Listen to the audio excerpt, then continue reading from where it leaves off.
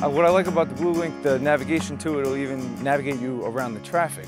It is really useful if there's an accident. So if you want to avoid all that traffic, it gives you turn by turn straight through the radio so you don't have to touch anything or look anywhere. It tells you exactly where to go. If I push the blue link button, I can get real-time updates, you know, for traffic, how my ride home is going to be, or if I'm in slow traffic, you know, can I divert?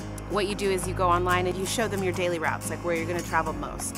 So I've got like two or three. So in the morning when I go to work, you know, I don't know which route is going to have less traffic and whatnot. So, and it actually did bring me around a different route that I wouldn't have normally taken, and I did get through less traffic. So it was, it was pretty cool.